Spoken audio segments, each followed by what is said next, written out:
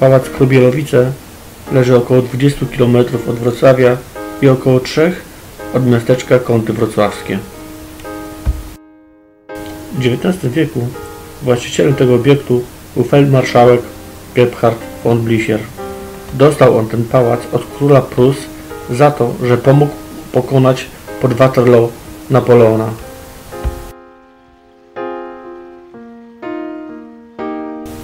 Kierując się w stronę pałacu, można przejść przez wieżę bramną. Obiekt ten świadczy o tym, że w XIX wieku lubowano się w klimatach rycerskich i mrocznych historiach.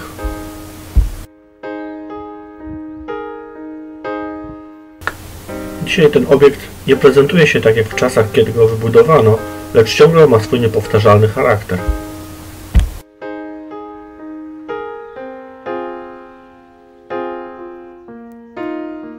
Do pałacu w Krobielowicach dotarł również główny bohater powieści Ren Breslau Miasto Złota i Miłości. On nie przechodził wieżą bramną, lecz przyjechał tutaj ciężarówką wypełnioną złotem i innymi kosztownościami.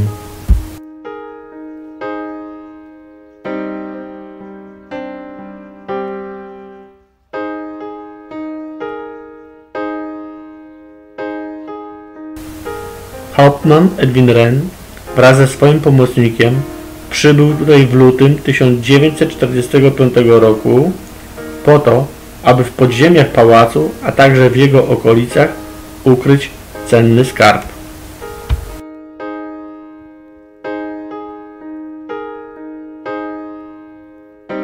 W czasie, kiedy Edwin Ren przybył tutaj, aby schować skrzynię z cennymi skarbami, Breslau przygotowywał się do obrony przed zbliżającą się Armią Czerwoną.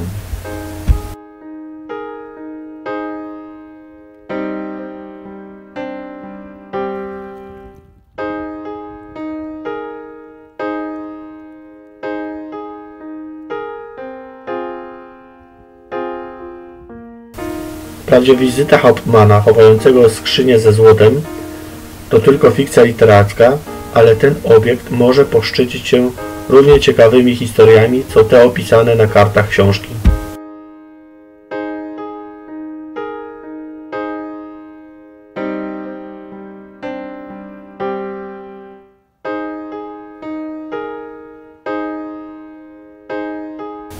Ciała na pałacowym dziedzińcu przypominają nam o XIX wieku i okresie wojen napoleońskich. Mówią również o tym, że tutaj mieszkał pruski feldmarszałek, który przyczynił się do pokonania Napoleona w bitwie pod Waterloo. Feldmarszałek Blisier nie zdążył się nacieszyć swoją nową posiadłością. Zmarł w 1819 roku na skutek obrażeń, które odniósł po upadku z konia. W jego pogrzebie brał udział sam król Fryderyk III z synami, który akurat był w tej okolicy z okazji corocznych manewrów armii pruskiej.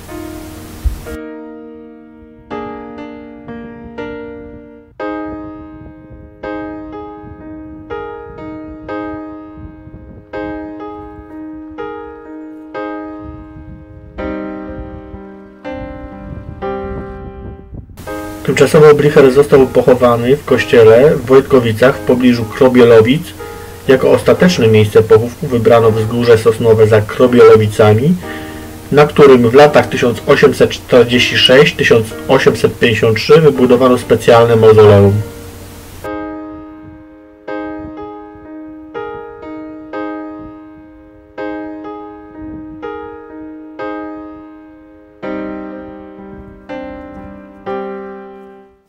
Nie tylko akcja powieści Ren, Breslau, Miasto Złota i Miłości wiąże ten obiekt z okresem II wojny światowej.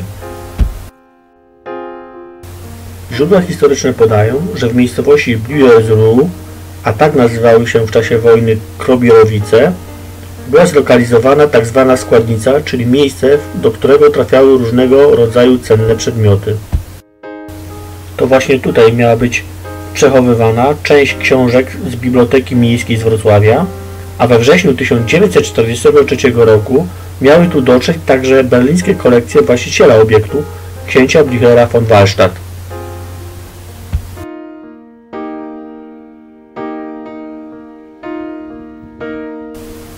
Składnica pałacu w Krobielowicach nie była niczym dziwnym, ale nie wyjątkowym w czasie II wojny światowej.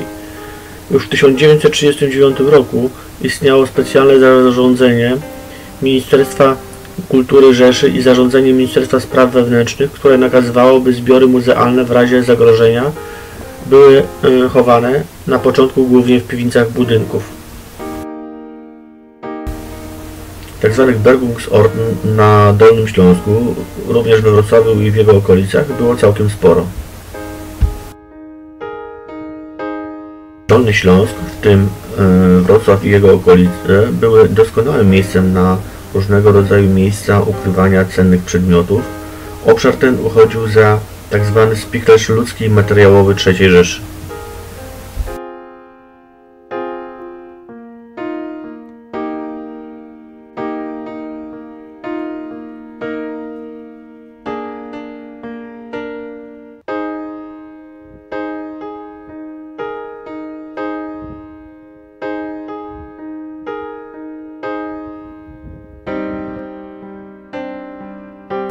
Na Dolnym Śląsku działał konserwator zabytków Günter Grundmann.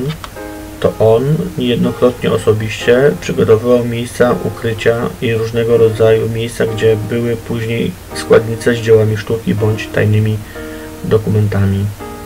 Na Dolnym Śląsku powstała ogromna liczba e, składnic. Szacuje się tę liczbę na co najmniej 180 lub nawet więcej.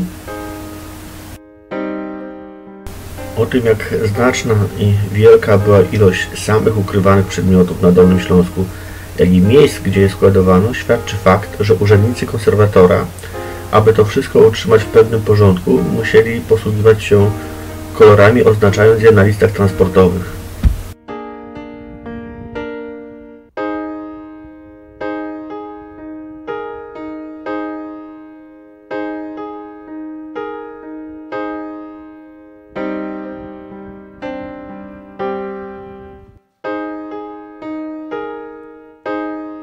Wprawdzie e, fragment powieści Ren Breslau Miasto Złotej Miłości, który dotyczy pałacu w Krobielowicach i jego najbliższych okolic, jest fikcją literacką, ale to nie znaczy, że opisywane w książce wydarzenia nie mogły rozegrać się naprawdę. W czasie II wojny światowej musiał dotrzeć do tego pałacu ktoś taki jak Ren, aby przekonać właścicieli, że jest to dobre miejsce do założenia składnicy. Ponadto musiał pojawić się ponownie, aby te dobra stąd wywieźć.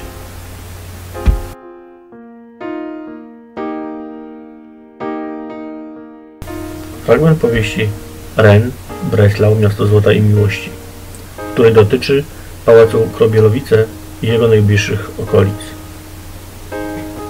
Ciężarówki kursowały jeszcze nocami po mieście i wyjeżdżały poza nie, wywożąc różne rzeczy przeważnie zbiory muzeów i galerii, które należało ukryć przed nacierającym wrogiem.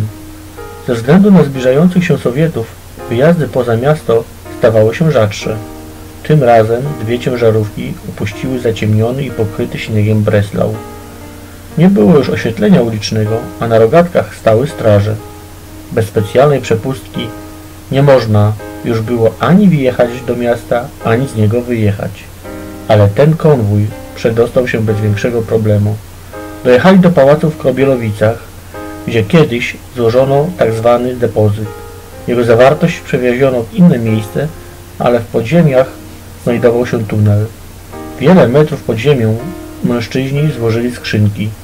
Wejście zostało zamurowane. Druga ciężarówka wjechała w las oddalony kilka kilometrów od pałacu gdzie czekała już wybetonowana głęboka na 25 metrów studnia.